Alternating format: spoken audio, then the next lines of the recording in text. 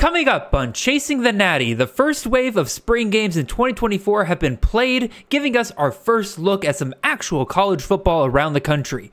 We'll be touching on everything from the state of a couple of ACC offenses to a plethora of G5 QB competitions, as well as some notes from some scrimmages this past week. We've got all of that and more coming right after this.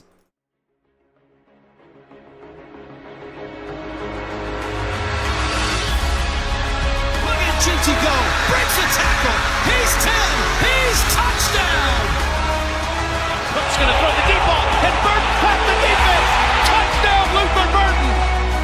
Milroe going to run it again. Got a lane. Kicked in the turbo. Milroe. Goodbye. Touchdown, Bama. This is Chasing the Natty, a college fantasy football podcast.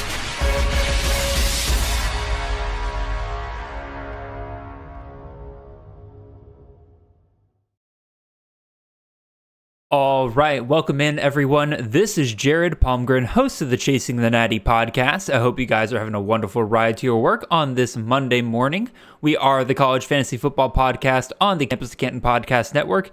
You can find us on all of your podcast feeds and on YouTube every Monday morning during the off season at 6 a.m. sharp. If you want to support the great work we're doing here, head on over to campuscanton.com and subscribe there with one of our expeditious tiers. You'll find everything you need for your CFF, Devy, C2C, IDP, betting needs. Again, pretty much anything you want to do when it comes to the game of college football. We got rankings, articles, tools, anything that'll help you with all of those different leagues. You can find me and the show on Twitter. I am at CFF underscore Jared, and the show is at chasing the natty. Definitely want to be following that show account recently. We've been putting up some pretty awesome graphics about some of the ADP trends that have been going on in drafts lately. Some guys that are coming at a bigger discount than they did just a month ago, and some guys that are pretty much on the rise. So you need to be aware of that so you don't wait too long to grab them in drafts. That being said, welcome in everybody. We're riding solo again this week, at least on my end. Again, just because I don't have a guest here doesn't mean that you all listening are not my guests. I'm inviting you in here into my own little world. Some great, great research we are able to do this past week in terms of a lot of these spring games, a lot of these scrimmages that have been coming out. So that's what we're going to talk about here today. We got nine different, um, actually, no, we got 12 different teams we'll talk about, but kind of nine different segments because I kind of saved all the scrimmage information at the end. I thought this was going to be a pretty slow week when it came to these spring games because really it's like next week when really things start to kick off in a big way. And this week was kind of the appetizer to that. But between Clemson, NC State, Auburn, uh, three good power Power Five schools that we got some great information from. We got some good stuff from Toledo, UAB, Southern Miss, UNLV.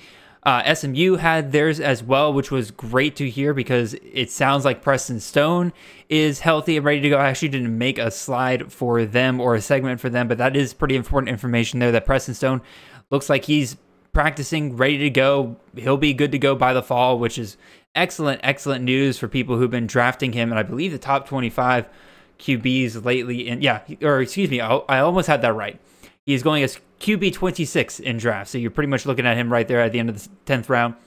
I could see him moving up now that we're getting information stating that he is going to be good to go by the fall. So look at me. I'm already jumping right into news and notes and everything. Haven't really let you guys settle down, get comfortable and everything like that. But that's just how it be when, you know, I can't have anybody respond to me in terms of small chit chat. So I don't know about you guys. I think we should go ahead and start hopping right into these spring games with a couple of quick announcements. First, again, if you guys haven't already, one, join a CFF Dynasty League if you have not already. But two, if you do play in a CFF Dynasty League, make sure you go check out Defending the Natty. It is on the camp, or excuse me, on the uh, Chasing the Natty podcast feed exclusive. It's there once a month on the 15th of every month. Last month, Nate and I discussed our initial CFF Dynasty rankings. This next month, we're going to talk about some freshmen. Be on the lookout for that over the next week here. And then, speaking of freshmen and just Dynasty slash C2C in general, make sure you check out the freshman supplemental guide at campuscanton.com. And we also got another guide coming out at campuscanton.com for those of you who play NFL Dynasty. We got a rookie guide coming out. It's only $5 and it pretty much like gathers all the information that we've been providing for these guys over the last couple of years since they come out of high school gives you a complete window into how they started, how they've developed over time. Excellent, excellent value. Again, only five bucks, and you're pretty much getting three years worth of content out of it. It's going to be absolutely insane next year, or it should be out within the next week or so. Uh, I need to get an actual date on that. Shame on me for not reaching out to the guys on that. But regardless, be on the lookout at campuscanton.com. Now we're done with announcements. I think we can get right into some of these spring games. So we'll start off with Clemson. Again, we'll start off with probably the three Power Five schools, and then we'll kind of get down into the mix when it comes to a lot of these G5 schools. Again, a lot of great information out this past weekend. Shout out to a lot of these beat reporters for providing really, really detailed looks into these spring games. Again, shout out to, of course, Matthew Loves Ball on YouTube for especially the Power Five or really any team that gets their spring game on television. He records it, cuts it down for you, made it really easy to actually get some eyeballs on what happened here in some of these games. So, shout out to everybody who has been covering these and providing great information. And now I'm here to kind of bring it all together for you guys who are listening. So, like I said, we'll start with Clemson here. The main takeaway I had with Clemson in this spring game is that for those that were hoping that Clemson's offense in year two of Garrett Riley was going to take a step forward, at least as of now, I think you're going to be somewhat disappointed. Cade Klubnik really does look pretty rough for a guy that is now going into his second year as the full time starter for Clemson. He started off very, very rough on this game. The first drive he had went for negative three yards, during which Klubnik almost threw a interception. Uh, it was it was a ball that was batted in the air, but regardless, like the fact they got batted in the air was something there. And then on the second drive, uh, it seemed to be going pretty decently. Uh, Klubnik immediately or then uh, killed the drive by heavily underthrowing Adam Randall. Again, the announcers tried to kind of blame it on Randall run, running the wrong route, but it just looked like a straight underthrow from Klubnik's perspective. So he had a very very rough start. Kind of put things a little bit together by the end uh, ended the day with a touchdown and, and again that interception that I was talking about. But for those that were kind of hoping that are drafting Klubnik, where where is he going right now? QB 48 in drafts, like in the end of the 19th round or end of the 20th round, excuse me. Uh, I mean, again, I don't I don't think that's the worst value in the world there, but it's I don't know if this is really going to be that year where he takes that next major jump there. I believe he finished in the top 50 QBs last year, but I, I just don't see him making a big jump outside of that. Um, there was another quarterback who was kind of interesting on the day. Again, Trent Pearman. Never really heard of this guy before, but he looked like honestly the most impressive quarterback on the day, both on the ground and through the air. Uh, had a beautiful pass to Bryant Wesco, the true freshman there, for nine yards. He also took a 49 yard run to the house. I believe he had easily the best completion percentage on the day for a guy that was running with both the orange and the white teams. He was the backup quarterback for both of the teams behind uh, Klubnik and Vizzina. So again, he was getting a mix of both second team and first team defenses, and he, again, he looked really, really solid. So I don't know if you're in a really deep dynasty league and you just want to throw him on your roster just in case maybe he transfers somewhere. He looks pretty solid elsewhere. Who knows? Uh, but again, speaking of other dynasty values, we got a really, really good look at Bryant Wesco, who did score a touchdown this game. Absolutely looks like the real deal in terms of the talent there. I don't know if he's going to really break into that starting lineup. Obviously, you got Tyler Brown there, Antonio Williams, who I'll talk about in a second. He's back, he's healthy, and quite frankly, looks like the best player on the field. Right, that's all I had to say is that he, he, he caught a, he caught about half dozen balls and in my opinion, looked like the best player on the field. So for those of you who are drafting Antonio Williams late in your drafts, let's see where's he going. Let me look at the ADP real quick. Um, he is going wide receiver 116 and like well past the 20th round. You're looking at uh, good lord, I can't do this again average of 318.3 in ADP. So you're looking at a guy who's going past the 25th round. I honestly don't think at that value it's a crazy idea. I mean, if Williams is if Williams is back to being healthy, now do I think he has a ceiling to end up being a top 20 wide receiver? No, but he'll out he'll outperform wide receiver 116 pretty easily, in my opinion. So I don't know. That's just kind of my thought on that. Um, that's pretty much all I had really on, on Clemson. Again, nothing really assuaged my fears in terms of looking at this offense and saying that, oh, they're going to be so much better this year. They're going to be a, they're going to be back to those Clemson offenses of old when you had Travis Etienne and you had Trevor Lawrence back there throwing to, um, oh my goodness, like back when Justin Ross was healthy and it was just absolute madness what they were able to do. I just don't think Clemson's going to be able to do it this year. And I think part of it is that Klubnik, as long as he's quarterback, kind of limits that offense in a pretty decent way. It also doesn't help that, of course, again, Dabo refusing to bring in help from the transfer portal really does put them in a rut when they are sitting there knowing that they have deficiencies at certain positions, but they're not willing to go out and get guys that are just sitting right there. It's interesting, weird. We'll see. But for right now, the Clemson uh, the Clemson spring game was pretty much a not a confirmation, but it, like I said, it didn't assuage my fears of Clemson not really still not returning to form this year. Now, on the other side of the coin, an offense that I knew had potential, but this spring game again, it looked really, really good. We got to talk about the NC State Wolfpack here, man. This is like the opposite of Clemson again. Clemson refusing to bring in guys. NC State said, We know we got problems. We know we got issues all over the field here. We know for a fact our running backs aren't up to par. We know for a fact our quarterback play was not up to par. We know for a fact that outside of Kevin Concepcion, our wide receivers are leaving something to be desired. So what did they do? They went and grabbed a crap ton of guys out of the portal. And really, the three biggest names how uh, shoot, I would say uh, five biggest names when you include two other receivers are the story of this game, and as well as a freshman quarterback who we'll get to here in a second. But I guess we'll start with the quarterbacks here. Grayson McCall, slightly worried again. He's coming off injury. His passing ability has been here and there.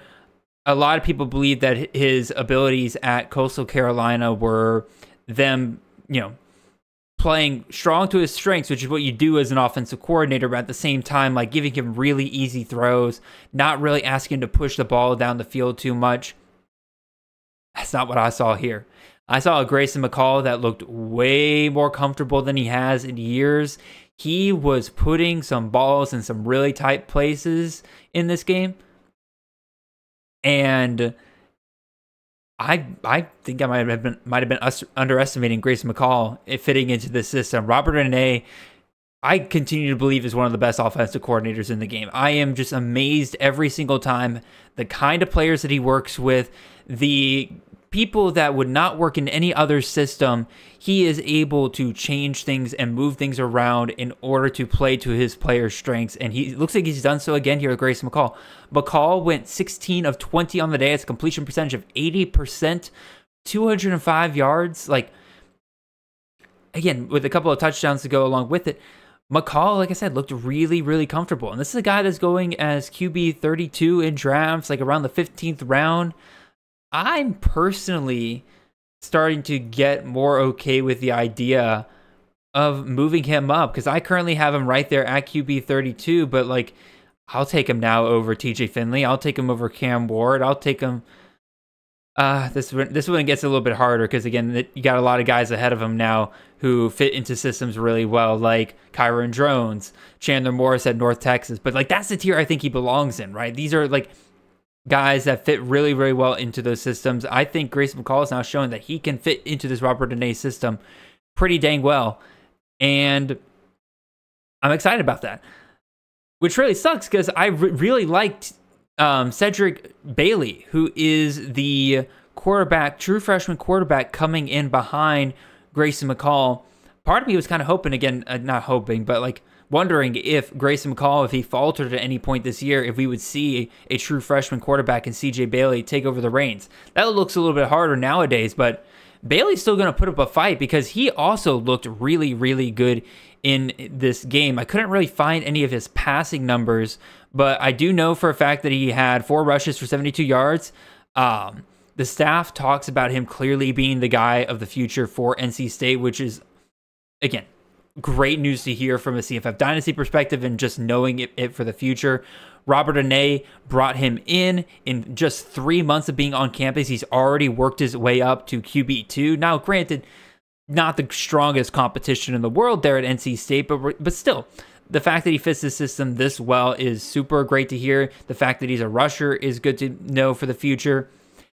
It's going to be I again uh, not that I'm rooting for it, but Grayson McCall obviously fits the system super well, but I don't know that Bailey's that far behind him when you watch them in the games. Now, Bailey has some fresh mistakes, don't get me wrong. That's probably why McCall will hold on to this job for as long as possible.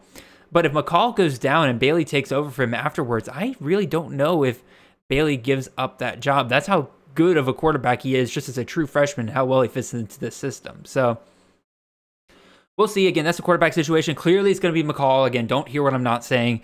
McCall will be the quarterback. I just really like Bailey, and we're, we're going to talk about him more on the next DTN episode as well. Easily one of the best stashes this year.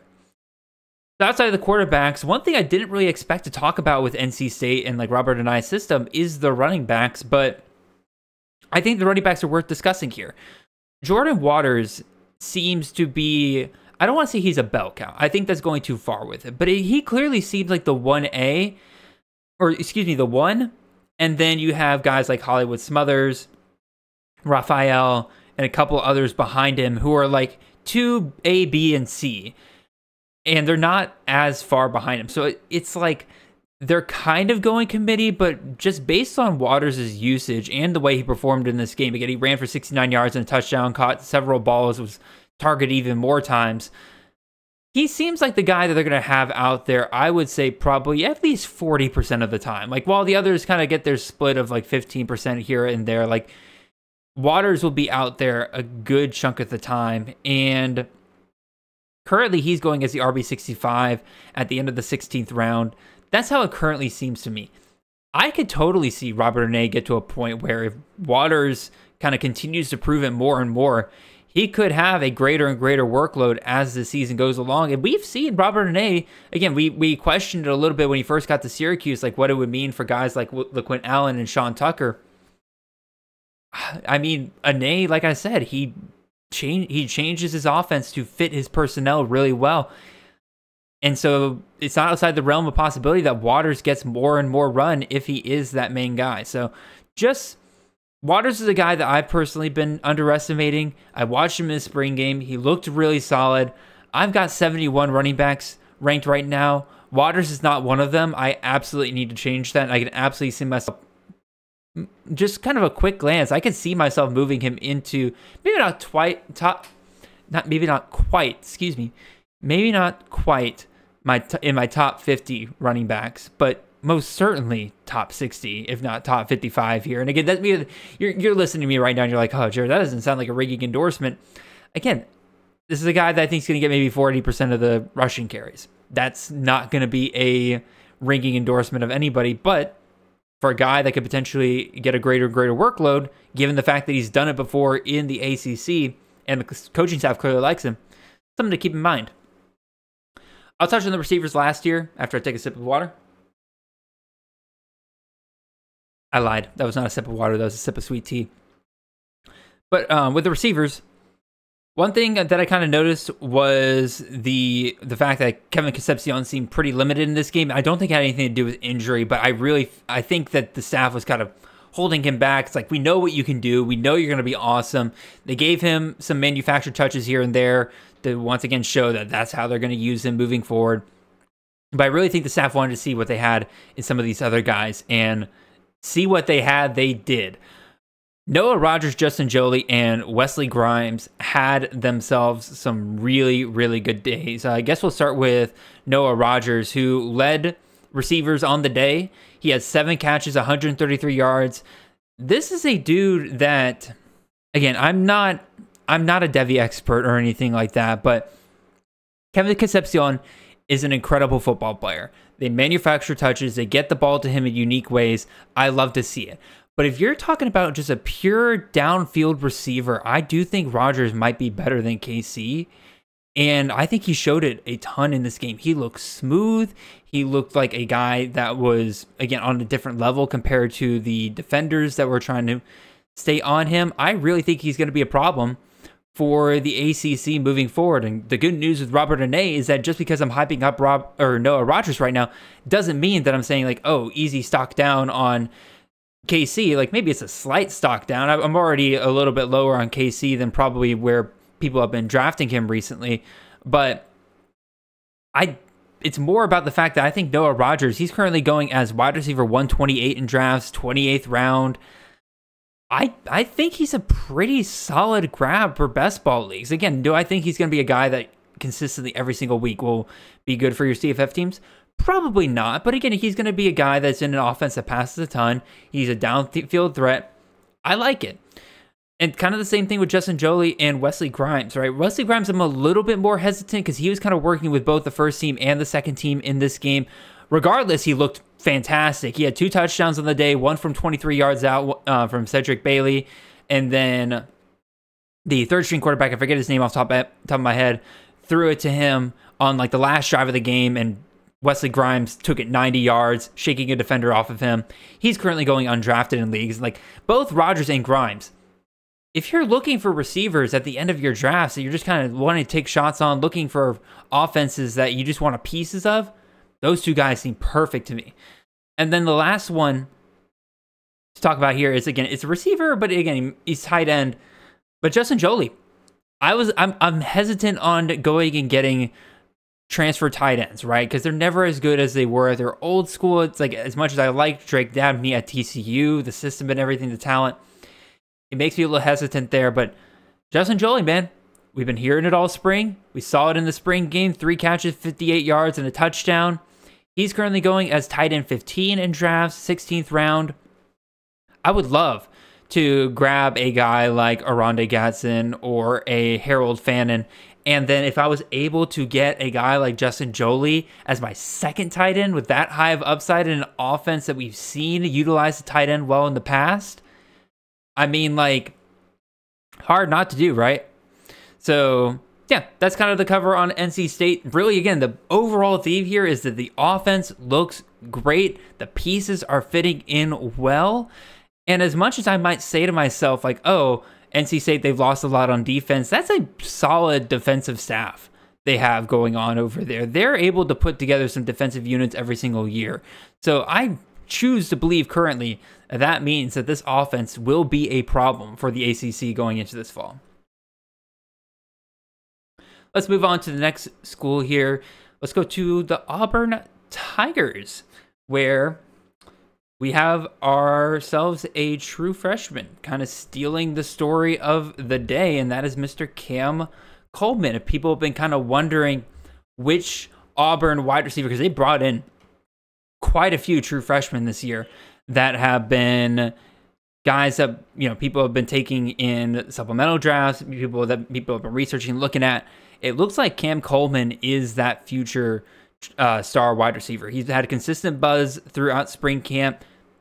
Here he is coming into the spring game, reeling in four passes for 92 yards, scoring the lone touchdown on the day in this game. By the way, by the way, can we just talk about the fact that there were this this game finished 28 to 27 and there was one touchdown scored in this game.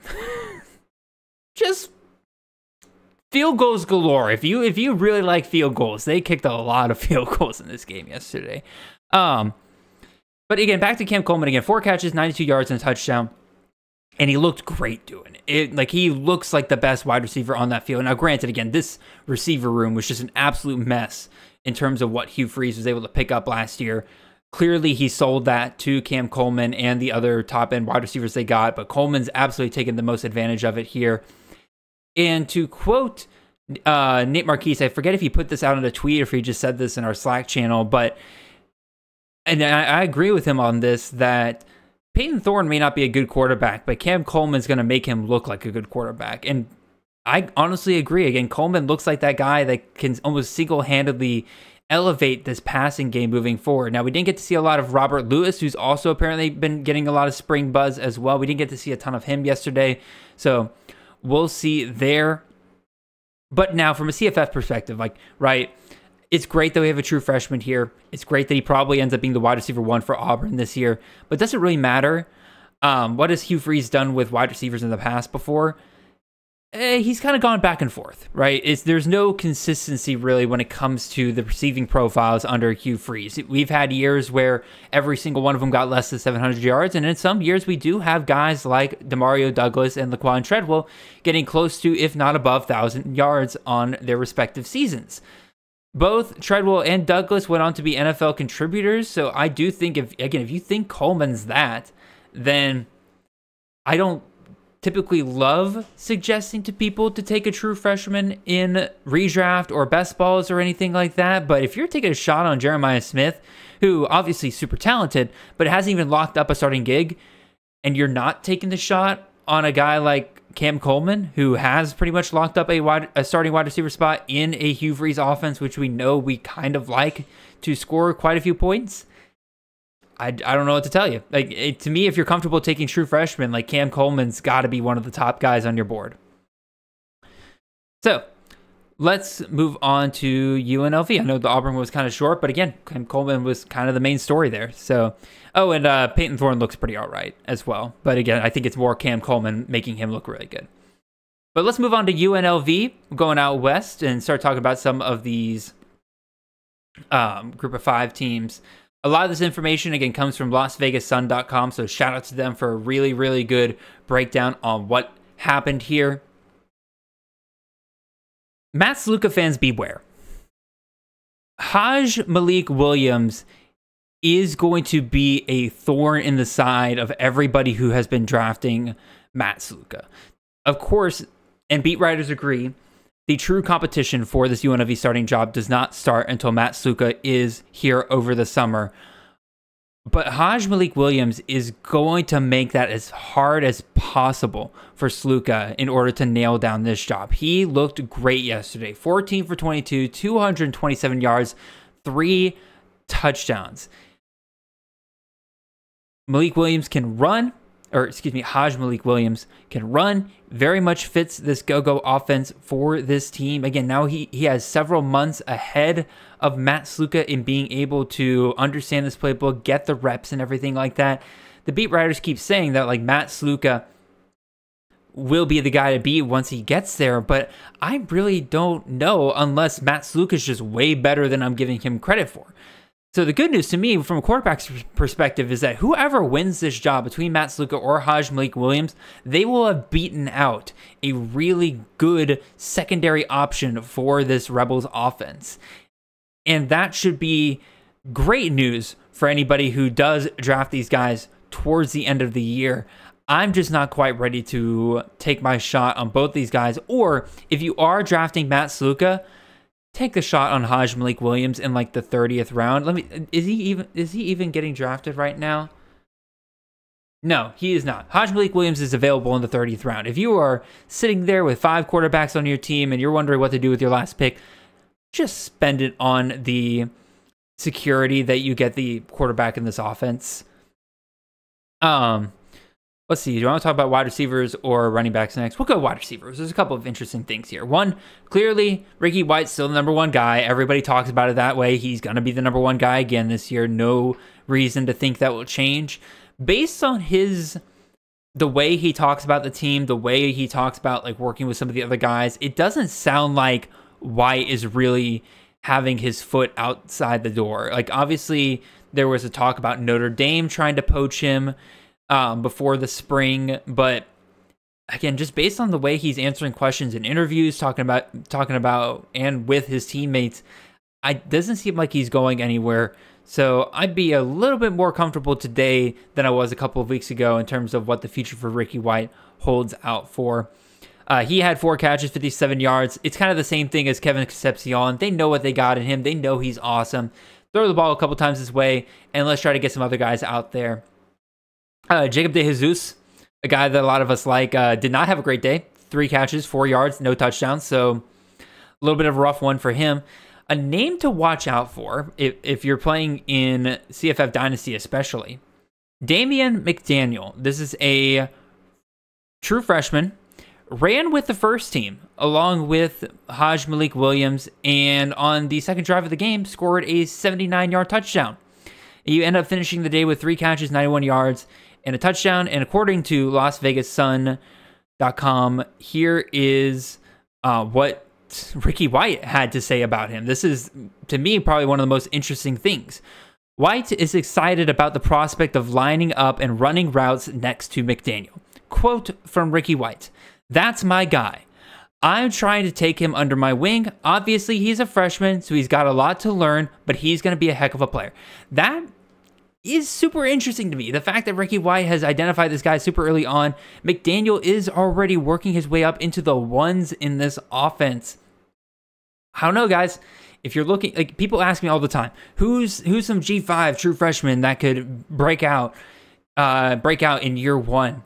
I mean, this is one of those guys right here. I mean, Damian McDaniel right here, UNLV. We know we love the off, we love the wide receivers here. I don't see like we we know Ricky White's gonna be gone after this year in one way, shape, or form, whether he transfers or whether actually he might be out of eligibility after this year. So he's probably going to the NFL after this year. So McDaniel might be that next guy up that we're all looking at here in the next couple of months.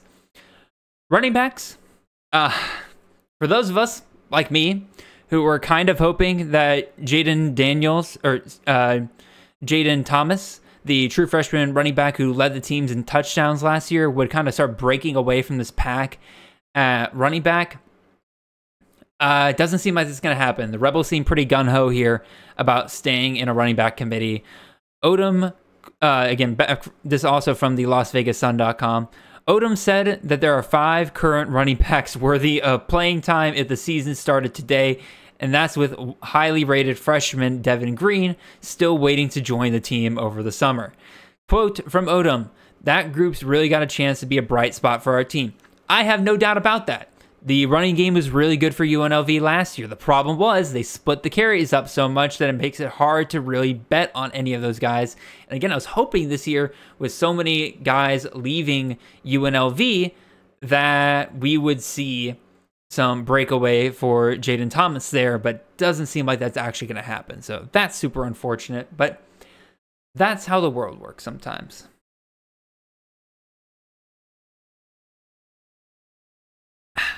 All right.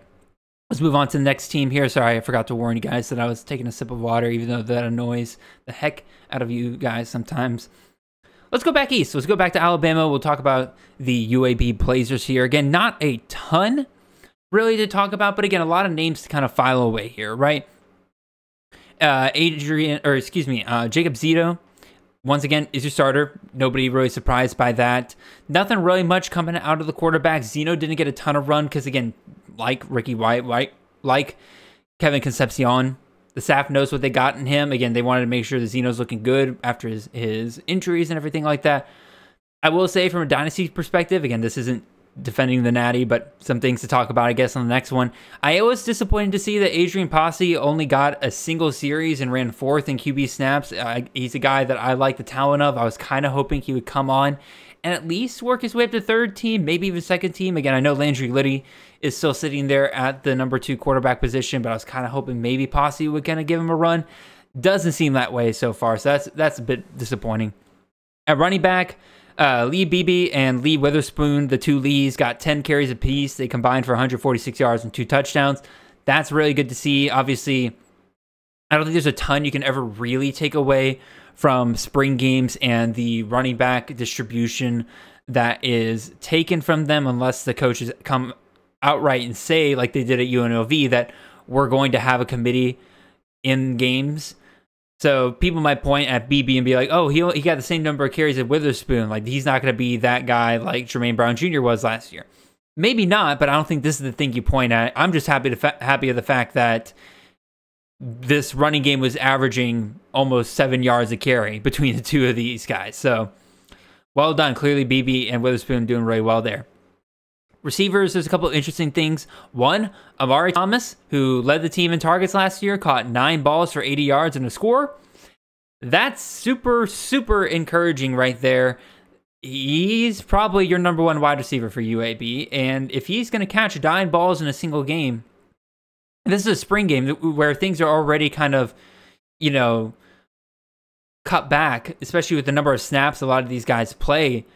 If Thomas was targeted at least nine times and pulled in nine balls just in this spring game, you have to think he's in for a huge workload going into next year. I mean, shoot, he already led the team in targets last year as a true freshman. Speaking of that class, that class for UAB in terms of their receivers are going to save them for the next three years because including Amari Thomas, they got Iverson Hooks who got hurt last year. He was supposed to be the one that got a lot of hype last year. We haven't heard much from him. He's still coming back from injury. But Kam Shanks is a redshirt freshman. He had the biggest performance on the day for this team. He went six catches, 116 yards, and two touchdowns. Now he was working against some of the um, some of the second team as well in this, but again, another guy to kind of file away in your head. Some of these young guys are really kind of stepping up here and are available everywhere in your dynasty leagues, really. But if you're in a deep, deep league, I mean, Amari Thomas, shoot, what is he going as right now?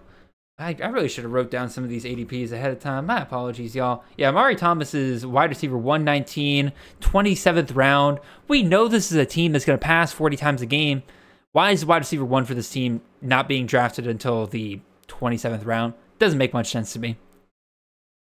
Um, anything else I want to say about UAB? I don't know. I think that's pretty much it. Again, we're kind of blazing through this a little bit, so this might end up being a bit of a shorter episode here today, y'all. But maybe y'all don't mind that. Maybe y'all don't want to hear me talk for an hour and a half on end, especially when I need to take drink breaks in between every single team here, like the one I'm about to do right now.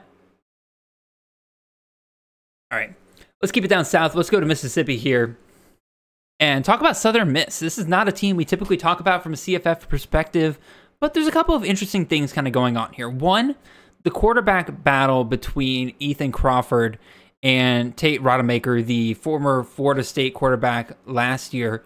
I think something to take interest in here. There's a lot of talk here about Ethan Crawford really needs to earn that starting job for the Golden Eagles. Again, um, he's coming back from a torn ACL, uh, or excuse me, last spring he was missing because of a torn ACL. Came back near the end of the year, showed some flashes for the Golden Eagles, and he's got some impressive strength, got some great athleticism, and in this. Um, in this scrimmage, he was the most successful quarterback, uh, considering he led the first touchdown drive on the day. Tate Rodemaker did not end up scoring a touchdown. More on that in a second. Again, we saw him run quite a bit. He's really like if if we're rooting for a CFF option here at Southern Miss, we want Crawford to win this job. He is the one that can provide the he's he's the one that can provide a CFF option at quarterback here because Rodemaker is a zero in the rushing department. Um, between the two of them, Rodemaker uh, led the first two drives, which is something. Obviously, the fact that he was the first quarterback out there says something. But on the first drive, he failed to convert a fourth and one at the five yard line. On the second drive, they got to a 30 yard field goal. And then on the third drive, he threw an interception. He, he finished with uh, 118 yards on 17 attempts.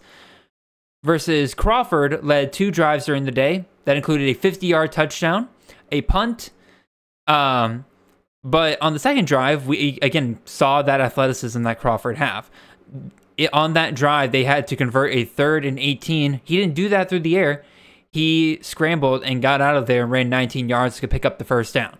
So once again, if he can kind of make that next step and you have that athleticism be the deciding factor here to win that job at Southern Miss, that's something we're gonna love in for us in CFF. Only problem is his accuracy definitely needs some work. Again, he went three for seven on the day, 71 yards and a touchdown. So obviously that 50 yard bomb was great to see, but again, we want to see the accuracy perform just a little bit better. But outside the quarterbacks, one name I'm starting to file away is uh true sophomore. Is it true sophomore? Yeah, true sophomore, JJ Butler. He did not record a catch last year. This is a guy that's completely off a lot of people's radars, but it looks like he is working his way into the first team and during the scrimmage led everybody in receptions. He had six receptions and 74 yards on the day. And he was, quote, the underneath favorite for each quarterback who threw to him. Um, from a quote from Will Hall here, I think he can be a quote go to target one day. I think he's growing into that role. JJ is a really good football player. This is his first spring. He gets better every day, and he's been thrown into the fire, and he's embraced that competition. JJ also went on to conduct interviews with the media afterwards, and you guys know how much I love that. So, Butler has been a guy that has been consistently producing this spring. We saw it again in the spring game yesterday against 6 for 74. Nothing crazy or anything like that, but we heard it from the head coach Will Hall's voice himself there that one day Butler could be a go-to target. Is that this year? Is that next year? I'm not really sure. And if we look at Will Hall's track record when it comes to offensive court or when it comes to offensive production for receivers, uh, it's uh, not the greatest. Um, the best we had was in 2022, where Jason Brownlee had 55 catches for 898 91 yards and eight touchdowns. But that's really about it. Most of his leading receivers have been 700 yards or less. So it's again, as much as I want to get excited about Butler, the history here isn't is kind of reining me back in here. But again, if I'm like 30th round of a best ball and need a wide receiver, I'll probably throw a Butler share here and there just to see. Um, but it really will have to take the fact that if they get to the fall and there's nobody else for these quarterbacks to throw to, there's nobody else that can be as reliable as Butler. That's the only way he's going to be a CFF relevant guy. Like, who else are they going to throw to? Kind of situation. Will Hall has already said that they're gonna they're gonna try to add to the receiver room in the next portal window. That's what I'm gonna kind of keep my eye out for. If we go through the spring portal window and Southern Miss does not find other receivers to add to this room, then I'm going to get a bit more excited about Butler because currently it looks like he's the only guy out there that can do things for this passing game.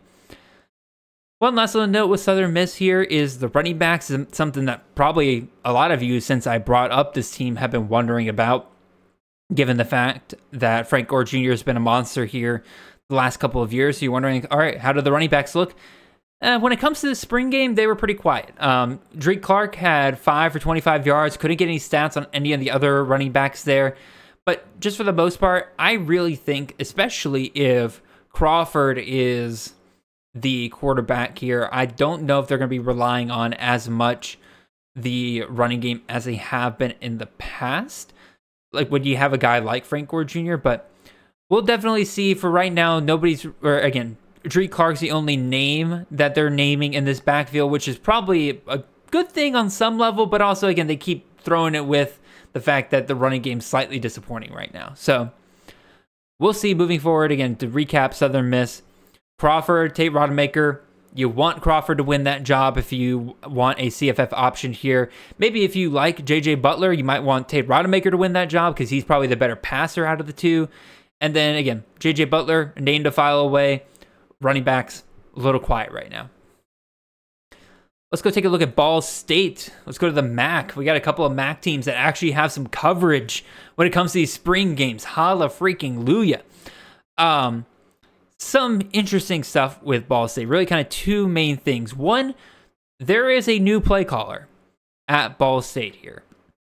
Jared Elliott, the or excuse me, I was about to say the former tight ends coach. He's not the he's not the former tight ends coach anymore, but he has assumed play calling duties and will become a co-offensive coordinator along with Kevin Lynch while he's still retaining his role as the tight ends coach.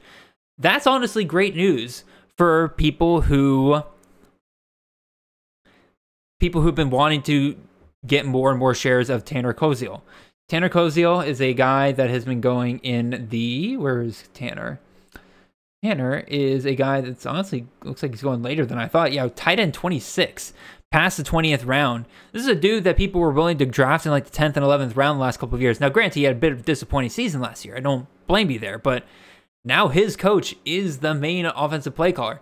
They were able to get Tanner Koziel back out of the portal. So you have to think that there's some level of promise here that they're going to feature him more. And I think part of that comes with them saying like, "Hey, your your head coach or your coach, the guy who works with you the most, will be the one p- calling plays now." So if you're a Tanner Koziel fan, nothing but good news right there. If you're a Kyle Kelly fan, this next piece I'm going to read to you from Ball State Daily News is not something that you're going to want to hear. So it looks like we have a quarterback competition again at Ball State. Quote from the article Although it seemed cut and dry that Kelly would return to the QB1 role after he filled for the final six games of the 2023 season, it was rising redshirt freshman Kadin Semonza taking majority of Ball State's first team reps in the spring game. If you're a Kelly fan, you're banging your head against the wall right now because this is the second time that this staff has really kind of screwed over Kelly in a pretty decent way. Last year, they had Semonza as a true freshman come out and get the first team reps last year. And now they're doing it to Kelly again after Kelly proved to be the better quarterback, the better the guy to better run the offense in the second half of the year last year. So not that Kelly's been going super high in drafts. In fact, I don't think I don't think he's been touched in drafts so far. No, he has not been. But if you are somebody who is willing to take a shot on him at the end of the drafts, now you pretty much have the reason to hold off, at least for a little while, until we get some confirmation about what happens at this running back situation, or or running back, excuse me, quarterback situation. Or you can draft him and hope that he transfers somewhere like I don't know, like Ohio or something like that, and you becomes the starting quarterback there. So that's it for Ball State. Let's go talk about Toledo here a little bit. Not that we really needed a ton of confirmation here, but it it's nice to have some conf- confirmation of the fact that Tucker Gleason looks pretty solidly in the lead to be the quarterback one for Toledo. Quote from the um, Toledo Blade here. His official title isn't QB1, but everyone inside the program, including his main competition, uh, John Allen Richter, knows the inevitable outcome. Gleason took a bulk of the reps of the first team offense throughout the spring. The same story unfolded on Saturday as Toledo went through a traditional two hour practice with 13 periods. So, again, confirmation there that looks like Tucker Gleason will be the guy moving forward, whether you think that's a good thing or a bad thing, or you're really hoping that some one of these other guys might be able to overtake him. That doesn't look like it's happening, but it is good news because dual threat quarterback in the MAC. You love to see it. Uh, the other thing I kind of find interesting with some of the news out of Toledo is there's a lot of talk about the quarterback competition, obviously, but surprisingly very little coverage, in my opinion, on how Toledo plans to replace Peny Boone, right? Like you're talking about a 1,400 yard running back last year that has left your team and you got to replace him somehow. There's just not a ton of analysis there. Really, the only mentions are of Jacquez Stewart, and this is quote a quote from the Toledo Blade on the spring game here. Quote, Jacquez Stewart should be a comforting presence in the backfield. Again, it goes back to this thing I talked about earlier where like on one hand, he's the only guy that gets mentioned when it comes to this backfield. So that tells me on some level he's kind of the main guy they're going to rely on, but also when it's paired with just the quotes of comforting presence and not things like, oh, he'll be a force, he'll be a guy we are relying on. He is things like that. It's hard to kind of read what they really want to see, what to expect out of Jacquez Stewart moving forward. Now, granted, if you are of the opinion that the fact that the only time we are hearing about running backs is when we're hearing about Jacquez Stewart. The good news is that he's going super late in drafts. He's RB 77 in leagues right now. You talk about a little bit past the 20. I think this looking at this, you're talking about 21st, 22nd round. So super widely available if you want to take the shot there, but I don't know, just kind of interesting to me. I think we can finish up with a couple of spring scrimmages here. Uh, got two Mountain West schools and a Sun Belt team. Again, their spring games have not happened yet, but we got some pretty good, solid information out of some of the scrimmages that have been happening recently. We'll start with the Colorado State Rams. Again, not a ton to take away, but one thing I did want to touch on here was the running back situation here at Colorado State. One, before this year, we've never really been a big fan of Jay Norvell running backs. But I've noticed that Justin Marshall has been drafted quite a bit in best balls recently. And I think people really need to I don't know, lack a better term, stop? Because you're talking about him being drafted as RB 59, 15th round. So you're talking about your fifth running back off the board.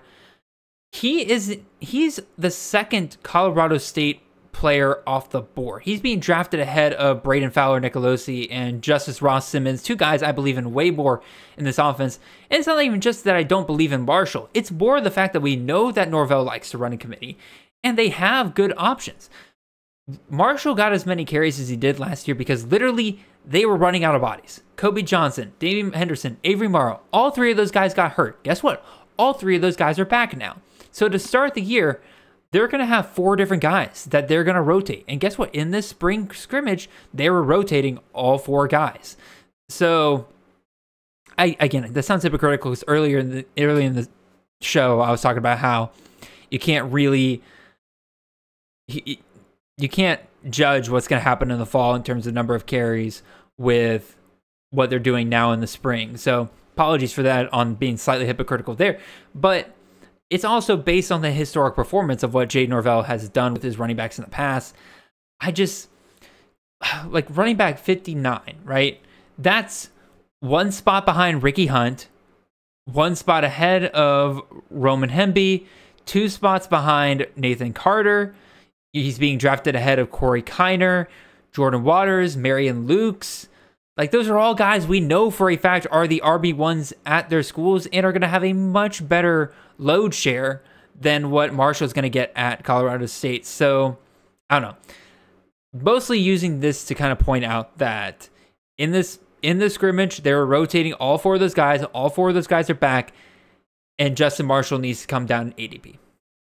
Um, some of you might be asking about receivers. There was some good reports from guys like Dylan Goffney. Uh, also, I don't know if any of you know this because I found this out this past weekend, but Donovan Ollie has transferred to Colorado State. There's some good reports about him, but I don't really know how much to really buy into that because both Tory Horton and Justus Ross Simmons were out. So it's a little hard for me to gather like what the actual hype to believe in is there. So outside of Colorado State, we'll go to Boise State now. They had themselves a closed spring scrimmage that we were able to get some information out of. Malachi Nelson took the um, was the first quarterback out there, went seven for 10, 73 yards and a touchdown, so pretty solid there. Maddox Madsen, who many believe is his main competition, did not participate in the scrimmage, which I, I don't know, guys. That pretty much tells me that Malachi is probably going to end up locking this up if Madsen isn't going to be available for a good chunk of spring here. But just something to note there again that Matt, Maddox Madsen is did not participate in the scrimmage and that he's still recovering. So I don't know. Again, to, I'm going to sound repetitive here, but really kind of tells me that Nelson has the job locked up. So I might move him up slightly in my rankings, but other kind of things to note here. One, we didn't get really a lot of word out of the running back situation because both Ashton Jeanty and Jambres Dubar both sat out of this game. And plus, I think the coaching staff, again, they know what they have in Jeanty, they know what they have in Dubar. They're great. Let's see what we can get out of this passing game, see who steps up at receiver. And if you want a name, Prince Strachan. Prince Strachan was the star of the passing game on Saturday, led the Broncos receivers with four catches for 71 yards pretty much it. Uh, Latrell Caples, who is a guy that I think a lot of people forget about when they start naming Boise State wide receivers, uh, he caught Malachi Nelson's lone touchdown in a corner of the end zone. So another name to kind of think out. I will say, it uh, Camper is out due to injury, but Chris Marshall was not mentioned at all in this article or this scrimmage. So, or yeah, for this scrimmage, excuse me. So again, that's not a death nail, for anybody who might be hyping up Chris Marshall, but I would say currently, if you're going to look for guys that are actually playing and making impacts, I would say Prince Strachan and Latrell Caples are the two guys I would take shots on for Boise State's wide receiver situation. But even still, we already know that this team is going to be heavily, heavily run first. Like, why wouldn't you be? It's Ashley Jeanty and Jambres Dubar back there. They're going to run everybody into the ground. But if you're going to take a shot on receiver, I'll take a shot on Prince Strachan. I'll take a shot on Latrell Caples because before um, if, if you all been listening to CTN long enough, we had an interview with Stefan Cobbs, who was a guy that a lot of us were drafting pretty early on, just a couple of years ago. We had an interview with him. We asked him, "Who do you? Who else do you expect to kind of step up in that receiver room?" And the very first name he said was Latrell Caples, and Latrell Caples did lead Boise State in receiving that very year. And then last year he got injured. So we'll see if he's able to bounce back. But he's kind of a name that, you know, he's going for free in drafts right now. So you get to the end, you don't know what to grab. I take a shot on Latrell Caples every once in a while. So again, end of draft kind of deal. Last thing we'll talk about here is the South Alabama uh, Jaguars here. Quarterbacks, we again, this is going to sound crazy, but again, Gio Lopez and Bishop Davenport split time with the first team, but Davenport was also getting work with the second team. So as much as Lopez and Davenport were, again, quote unquote, splitting time, Lopez is the, is the front runner for the job right now. Davenport was getting work with the first team and the second team, mostly again, I think to really prepare him to be a backup there. Lopez finished the day pretty solidly 13 for 19, 192 yards, one touchdown, one interception. That interception didn't come until the very end of the scrimmage when he was trying to hit a deep ball into the end zone. So, uh, got a little bit of hype for Jamal Pritchett here. He caught a 42 yard touchdown on the second drive uh, throw from Gio Lopez. So, obviously, those two are, are hooking up pretty well. There's been a lot of talk of Braylon McReynolds being kind of the main guy, but it was Kentrell Bullock who got two short yardage touchdowns in this game. So again, I this this South Alabama running back duo between McReynolds and Kentrell Bullock might end up becoming a pretty big headache here if Reynolds is the guy like between the 20s, but then they hand it off to Bullock along the goal line. Regardless, they had 19 carries on the day for 74 yards, so pretty solid production. They also caught seven balls between the two of them, so they're both clearly clearly pretty involved here in regardless of who's on the field. I just think that moving forward, it seems like Bullock and McReynolds are going to be a pretty split duo here, and we're not going to see either one of them get to the Damian Webb production that we saw last year, which is a shame because I have quite a few Kentrell Bullock shares, but I got to read the tea leaves, and this is what the tea leaves are telling me. And then the last thing I'll mention here is another name to file away we all know Jamal Pritchett. We like him. Devin Voisin's another guy that people um, like and are kind of filing away.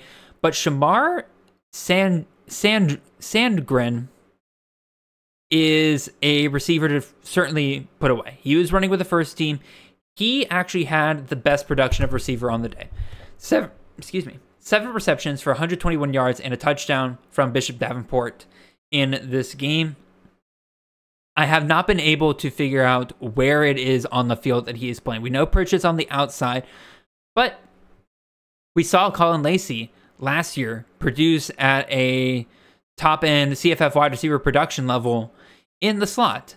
And so if Sandrin or Sandgren, excuse me, starts producing well, again, this is a team that potentially could have two receivers to feed and both of them get up there pretty solidly. Again, do, do I think they're going to have two receivers in the top 20? Probably not. But if they get two receivers in the top 35, and you can get two receivers here who can both be CFF options, just something to file away. Uh, if we hear more about Shamar Sandgren moving forward, this is where his story starts right here, because otherwise, we got nothing on him. I couldn't find any information on what he was able to do in JUCO or anything like that. So some fun names to file away there. And with that being said, that's all I got for you guys today. Again, it's a lot of spring games around the around the league. Um, next next week is going to be absolutely nuts. Uh, again, just naming schools off top of my head here, or I say off top of my head, I got a sheet right in front of me that says all of them. Minnesota, Georgia State, Eastern Michigan, UCF, Kansas, Coastal Carolina, East Carolina, Houston, Boston College, Central Michigan, Cincinnati, Florida Atlantic, Ohio State, Purdue, Texas State, Arkansas, Florida, Georgia, Georgia Tech, Kentucky, Middle Tennessee State, Tennessee, Utah, LSU, Old Dominion, Penn State, Pitt, Temple, South Florida, Virginia Tech, Alabama, Miami, Ole Miss, FIU, Nevada. All of those All of those are next Saturday. So we got a massive, massive spring game haul next week. We're probably going to have a long, long show next week as we kind of break a lot of those down. Um, I really hate how more and more of these schools are shoving it all into a single Saturday. It makes it really hard on all of us. But one last thing, and I probably should have said this at the top of our show. It's fun to look at these spring games and kind of take some takeaways and everything like that. Look at guys who perform well, but at the same time, historically, spring game heroes don't typically do super well moving forward. That's why, again, I took I I hyped up Noah Rogers at NC State a little bit, but I still think he's a guy you take later in your drafts. I'm not saying go and draft or he should be moving up to like the even the ninth, tenth round if K, if is a second, third round value. No, Noah Rogers, I like him as a receiver. Keep him in the 30th round. Uh, Wesley Grimes, like him as a receiver. Keep him in the 30th round. JJ Butler, I like him. I like what he can potentially do for Southern Miss this year. He should not go much further than or much higher than the 28th, 29th round. In addition to that, again, like uh, Shamar Sandrin or Sandgren, I why why do I keep messing that up? It's like his last name's not even that far off from my own. Like Sandgren. Anyway, like he's not a guy that should ever go much higher than the last one or two picks in a draft for you. I'm throwing a lot of names out there as people that we could potentially see in a couple of months and say like, okay, now we can move them up.